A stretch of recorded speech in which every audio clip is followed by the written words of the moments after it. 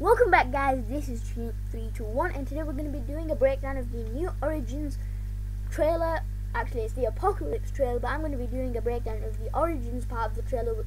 Origins is actually the new Zombies map, is that's what it is called. And um, I'm going to be doing a breakdown of it so let's just get into the breakdown. And um, as you can see here, these are giant metal men and um, they just come down from the sky. They don't look like the huge metal men. I don't know how to kill these. I think you might have to shoot the glass. Uh, we're just having a look at a few of the trenches here. You can see the mystery box in the background there. And um, just then, the background where my mouse is, um, you can just see the mystery box right there. So, um, just the mystery box light. I don't know why it's blue. Uh, I think it was blue in Kino, but this Zombies map is the oldest Zombies map we have so far. It goes back into World War And we're going to be seeing some new guns, and there's quite a lot of bodies and stuff there and uh, we're just going into a room here and um, I don't know what is. Uh, this uh, trailer has been slowed down and everything. These are the new four characters.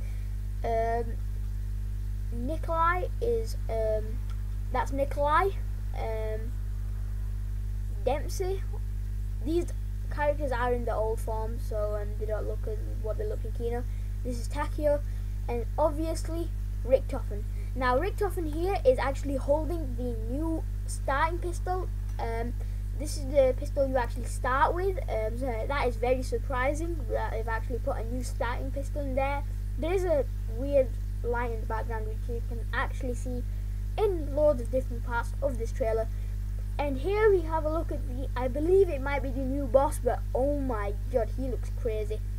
And we're just going to have a look at a bit more of the map right now. It looks quite uh, uh, they did say in the trailer it is a dynamic map, which means that there might be snow, there might be fog, there might be rain, and um, here we um, just see just the trenches. It just shows off what is actually going to be happening in this map. It is going to be an absolutely beast map. And um, here we're actually uh, going into like an open space. It looks like it might be a space people will want to train in. But um, yeah, here we have another look at the new metal zombie. I do not, not I do not know actually how to kill this guy. I think you might have to shoot his glass. Here we can see Richtofen, and um, this metal zombie, as you can see, his eyes are yellow like all the zombies in this trailer. And um, here we have a look at. I don't believe it's the new wonder weapon, but it is a new machine gun, and um, it looks pretty powerful.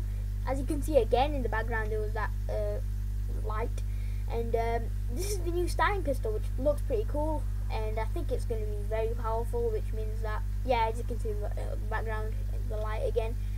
And um, this starting pistol looks really, really, really powerful because um, I think this zombies map is going to be a very hard map. Here you can actually see the zombie tank. Yes, you heard me right.